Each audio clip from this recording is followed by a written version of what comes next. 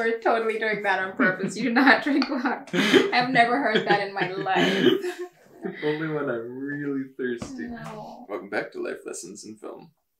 Hello. Today we're going to be making sense of life through The Fabelmans. It's a loosely biological film about Steven- Biological? Did I say biological? I meant it's We late. should go to- Yeah. We should go to bed. I think we can do it. I think I'll do it. I'll just be a bit sloppy. A little sleepy, sloppy, I'm silly. so. Yeah, loosely a biographical film about Steven Spielberg's early years, going through teenage and then like early college, pursuing trying to be a film director. Follows his life with the family, mostly focuses on his family and the dysfunction therein. Like what got him interested in movies, Yeah. and then how he starts making movies Mhm. as a kid, and just it kind of takes, and he keeps doing that Yeah. forever. His mother was very interesting.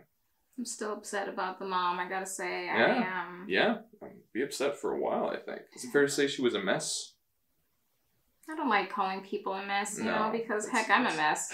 But I feel like she was very self-involved. Mhm. Maybe she was neglected and kind of ignored by the husband, who seemed to be more preoccupied with his work and with science and things, the other things that occupied him. Maybe he wasn't the most present husband, you know? I don't Partner, know. yeah. He would watch her Mhm. play Yeah. and literally Yeah, be on the true. verge of tears. Yeah. I do That's- not no, think that the husband was not present. Like they said, And he he, would- worshipped her, really. Yeah, Right, he worshipped her, like the kid says. And I feel like there is a chance that she had bigger dreams for herself because we later meet the uncle saying when she would go to visit, Mitzi was just going on about how she's going to be this great musician. And as far as the uncle was concerned, he felt that she was capable of becoming a concert musician. She could have played.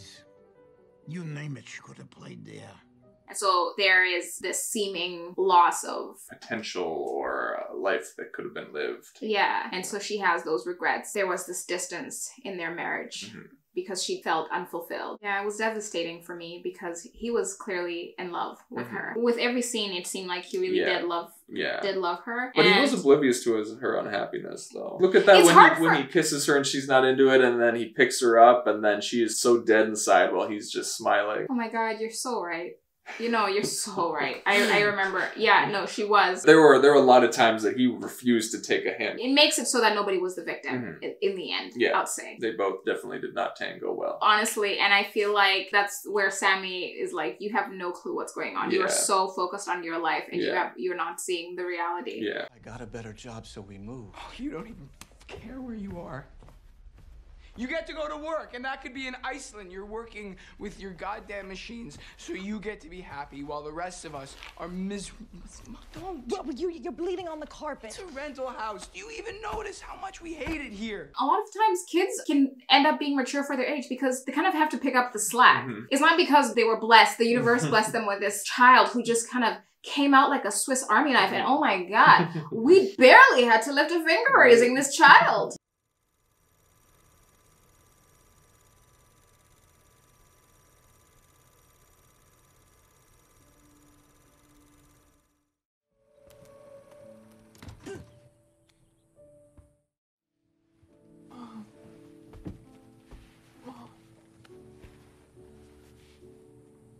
I won't tell. I won't tell. I won't. I won't tell. I won't.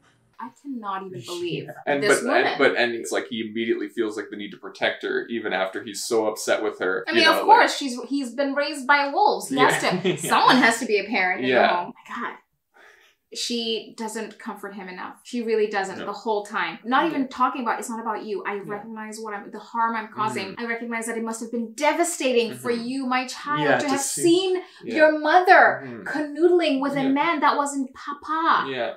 A lot of times when kids are like Sam, it's because parents are dropping the ball all the time. We don't know the details of Yeah. Benny and the husband, but I just kind of felt like if Benny was indeed a friend, this man welcomed him into his home, loved him like, you know, a brother. Yeah. The kids called him Uncle Benny. Two people that you love are Yeah. hurting you. And Neither of them can actually be an adult enough or a, good enough person enough to talk to them about it. that was devastating for me to watch something like that. When you're in love with someone like like the husband is, and when you have your best friend who you say is your best friend Yeah. doing that, I think it can be really hard to get yourself out of that situation. And then on top of that, you have kids. Yeah. You know, your entire life, the love of your life, It's it's really hard, I Mhm. think. All three of these people really were not making No. rational decisions, I think. There's this conception of family that he's so respectful of, being supportive of your kid. Okay, your kid is interested in Mhm. making movies. We're going to get you a camera. We're going to do all of these things for you. He'd be there, you know, rooting for the kid, watching the movies, helping him make the movies. Yeah. Absolutely supportive of this passion that Sammy has. But then at the same time talks about it. Oh, well, you know, it's just a hobby. Yeah. I'm talking about you looking for work, looking for opportunities, things that are real things. Yeah.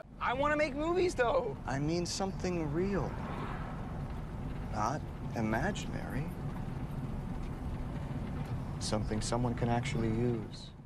In some ways, it might be even more frustrating than a parent that just from the get go doesn't support your passion. Because it's like, to a degree, he wants to help him out, but then once he's doing it, he's like, Ned doesn't actually take it seriously. And he's like, yeah, that's great and all, but like, I'm hoping that you'll change your mind, you'll grow out of that phase. You could afford to be a little encouraging. About what? About him making movies again. Well, I didn't say that. I'm just. Maybe talking- he's moved on. On from what? He hasn't picked up his camera once since we got here. He'll be going to college in September. Maybe his feelings about it have changed. He's growing up. I'm enthusiastic about that. This mix of where the mother, who is kind of too carefree and too about what makes her happy alone, she is the one that, you know, tells him at the end, Sammy, you do what your heart says you have to. 'Cause you don't owe anyone your life. Not even me.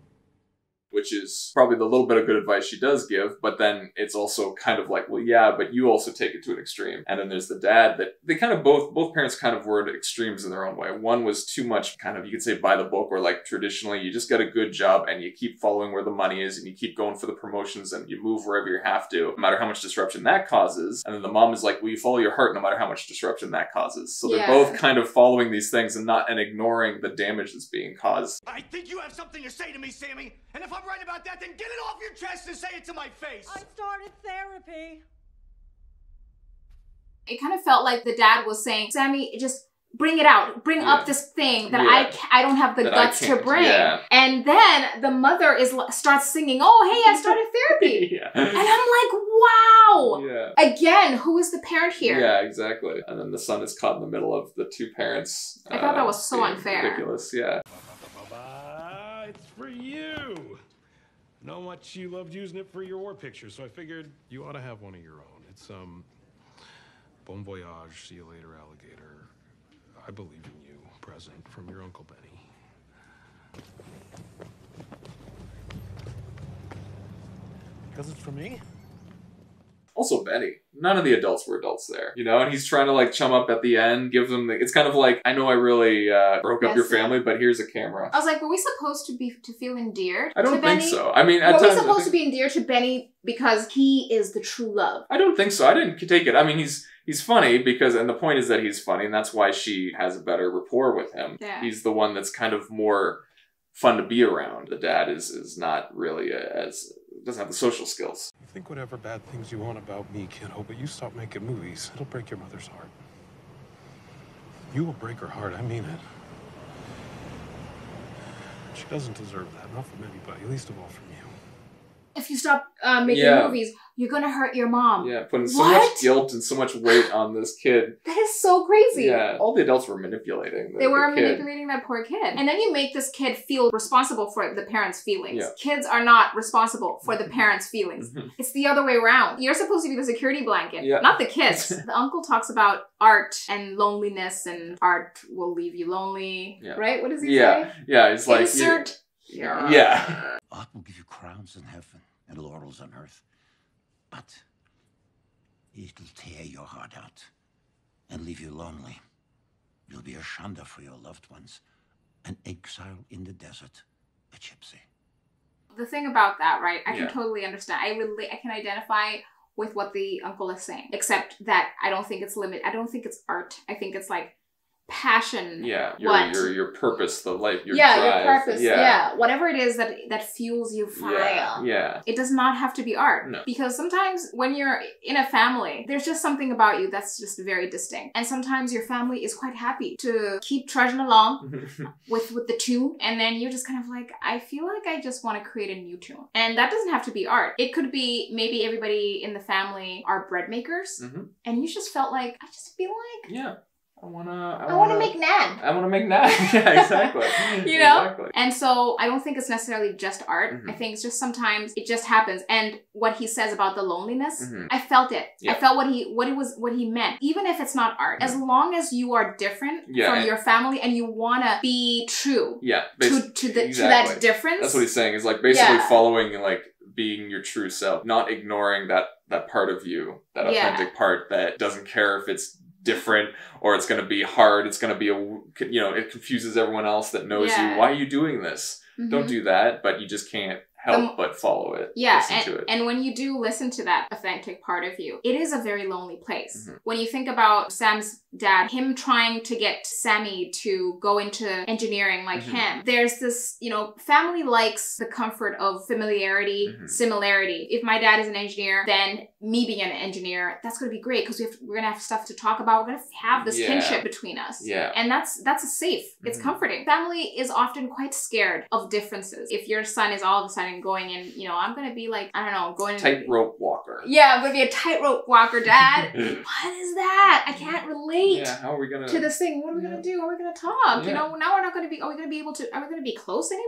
That's where it really does get lonely. If you're threatening to break out of the norm Mhm. That is your family, you don't have a support system because nobody wants you to break out of the norms. They're Yeah. quite comfortable with Mhm. how things are. That's a lonely place. You have to do it all alone. You have to fight like crazy for it. Sometimes you end up doing things like, "Oh, I'm gonna go to school," you know, Mhm. because like my parents want to do this and it will make them happy. But you're just, it's awful. It feels Mhm. like you're just going against every single pore inside your body Mhm. and it itches every single day. I'm not living my life. Yeah. You know that conversation he has, Sammy has with the dad. I don't want to disappoint you, and I promised that I'd stick it out. But two years is like forever, and I hate school. Like a lot. And I want to get work on a movie or a TV show, so I send out all those letters, but nobody ever writes back. And my life is just going by so fast, but it's not getting anywhere.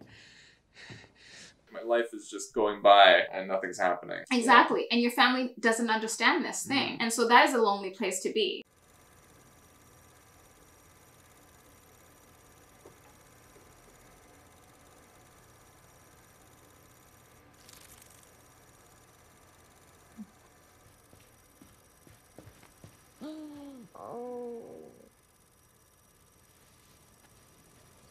So beautiful what you made, Dolly.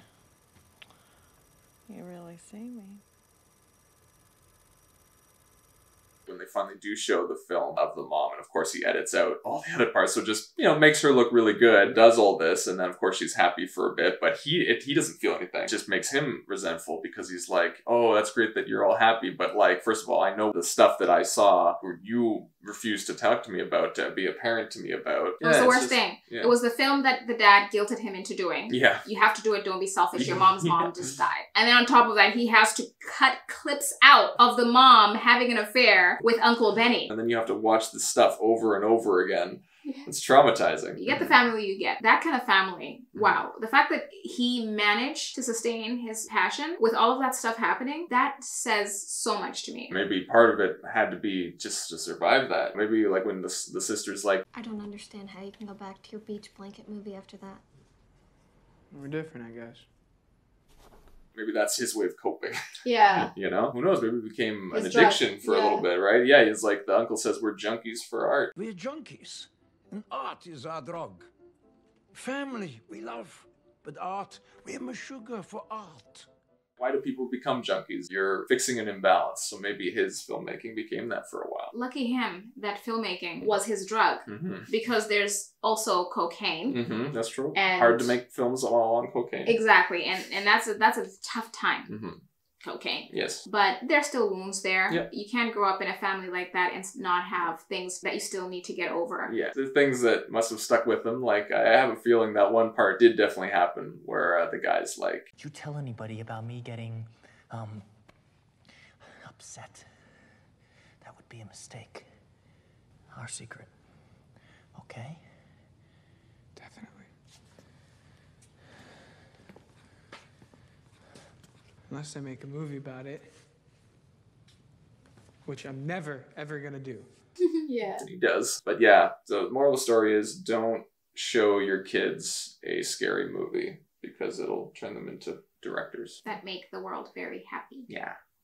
Mm-hmm, mm-hmm. One moment. Huh? Scary Movie is a 2000 American slasher film directed by Keenan Ivory Wayans. That's what that It's was. Siri! Oh, it's Siri. I didn't know we had Siri. Phil Beauman, and Jason Friedberg, and Aaron Seltzer. Would you like to hear more? No, thank you. Anyway, uh, that's some stuff that we thought of about the Fabelmans. Mhm. What would you guys think? Have you seen it? Let us know. Comments down below. Share your thoughts on our thoughts. Till next time, thanks for watching. That's a wrap.